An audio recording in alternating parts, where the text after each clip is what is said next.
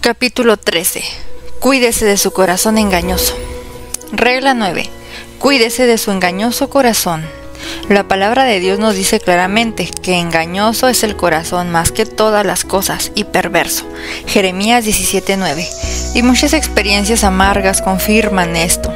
Con esta novena regla estamos pensando en una forma específica de autoengaño, es decir, de cómo una paz falsa nos puede engañar. La regla para prevenir que seamos engañados por una paz falsa es la siguiente. Tenga cuidado de no suponer que tiene paz antes de que Dios pronuncie su veredicto. Muchos fabrican para sí mismos una falsa paz. Su conciencia es la voz de Dios. Escuche lo que ella le dice. Cuando usted peque o esté consciente del poder de alguna concupiscencia o tentación, su conciencia le inquietará. Este es el método que Dios usa para advertirle del peligro. Dios es el que está perturbando su paz. Dios está inquietando su alma a fin de que usted se vuelva a Él y le pida que conceda la paz a su alma. Cuando Dios le inquieta en esta forma, su peligro más grande es el de tratar de crear una paz falsa en su alma.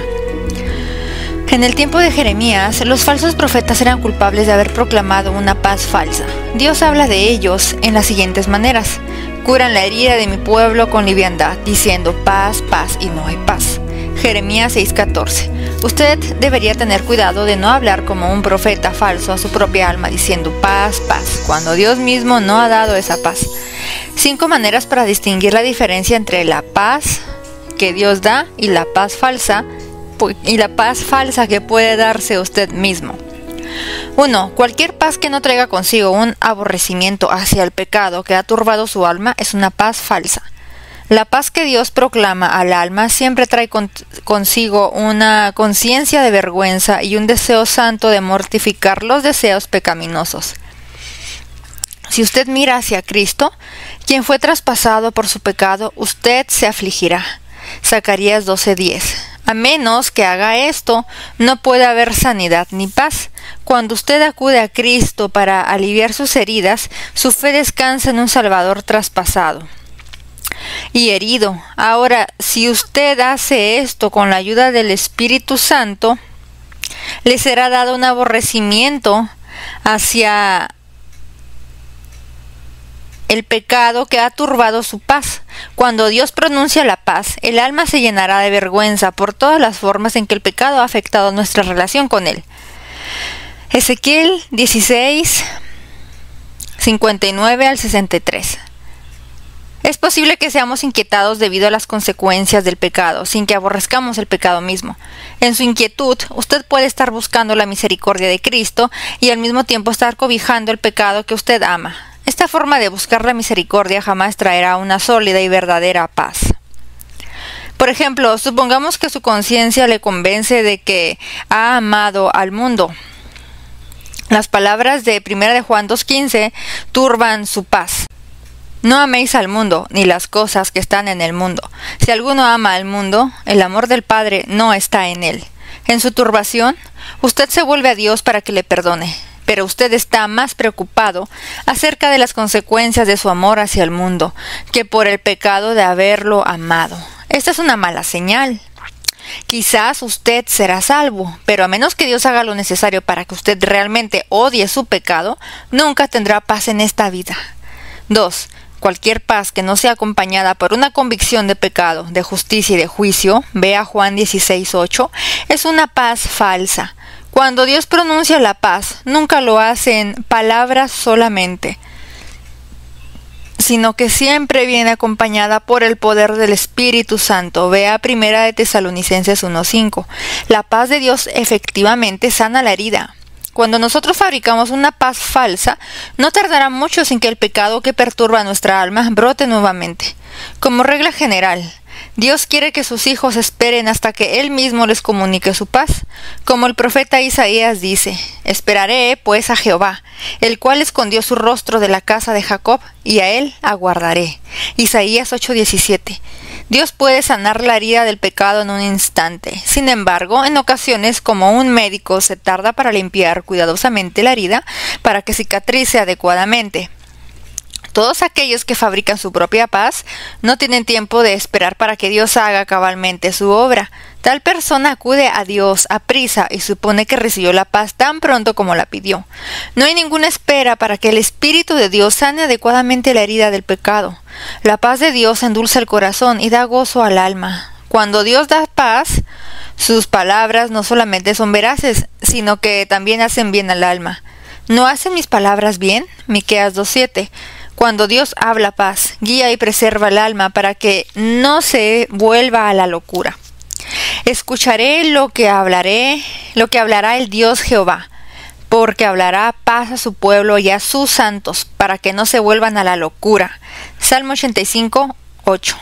Cuando una persona fabrica su propia paz, su corazón no es sanado del pecado, y entonces continúa en un estado de retroceso.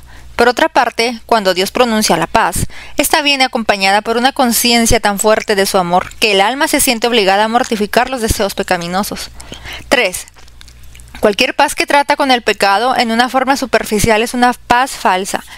Como señalamos anteriormente, esta es la queja que Jeremías hizo respecto a los profetas falsos en su tiempo. Paz, paz, decían ellos, cuando no había paz. Jeremías 6:14. En la misma manera, algunas personas hacen que la sanidad de sus heridas pecaminosas sean una obra fácil. Ellos se fijan en alguna promesa de la Escritura y piensan que son sanados. Pero una promesa de la Escritura puede hacer bien solamente cuando es mezclada con la fe. No es una mirada superficial hacia la palabra de misericordia o hacia alguna promesa lo que trae la paz. Es necesario mezclar la promesa con fe y aplicarla a nuestro propio caso. De lo contrario, nos encontraremos fabricando una paz falsa. En tal caso, no pasará mucho tiempo sin que su herida se abra nuevamente, y entonces sabrá que aún no ha sido sanado. 4. Cualquier paz que trata con el pecado en forma parcial es una paz falsa. El creyente sincero no buscará simplemente estar en paz respecto a los deseos pecaminosos más inquietantes o escandalosos. Si tratamos solamente con los pecados que nos inquietan mucho, pero no con aquellos que casi no nos inquietan, entonces estamos tratando con el pecado a medias. Cualquier paz que pudiéramos recibir tratando con el pecado de esta manera es falsa. Podemos esperar la paz de Dios solamente cuando respetamos por igual todos sus mandamientos. Dios nos justifica de todos nuestros pecados. Dios nos manda mortificar, mortificar igualmente todos nuestros pecados. Muy limpio eres de ojos para ver el mal. Habacuc 1.13 5. La paz de Dios es una paz que humilla, tal como lo vemos en el caso de David en Salmos 51.1. Piense en la profunda humillación que David sintió cuando Natán le habló la palabra de Dios respecto a su perdón. Segunda de Samuel 12:13. En resumen, si usted quiere estar seguro de la paz de Dios, aprenda a caminar en la comunión íntima con su Salvador. Jesús nos dice, mis ovejas oyen mi voz. Mientras que aprendemos a tener comunión con nuestro Salvador, aprenderemos a distinguir entre su voz y la voz de los extraños. Cuando Él habla, lo hace como ningún otro hombre, porque habla con poder. Cuando Jesús habla, de alguna manera hará que su corazón arda dentro de usted tal como lo hizo con los discípulos en el camino de Maús. Lucas 24:32 la otra evidencia principal de que el Señor ha pronunciado paz al alma es el bien que produce. Sabemos que el Señor ha pronunciado la paz cuando el resultado es una persona más humilde. Sabemos que el Señor ha pronunciado paz cuando los deseos pecaminosos han sido verdaderamente debilitados, cuando las promesas de paz le conducen a amar a Dios y purificar su alma. Sabemos que el Señor ha pronunciado paz cuando hay una verdadera tristeza por el pecado, cuando hay una obediencia amorosa, hay un intento de mortificar el egoísmo o el amor propio. Entonces podemos decir que el Señor ha pronunciado paz.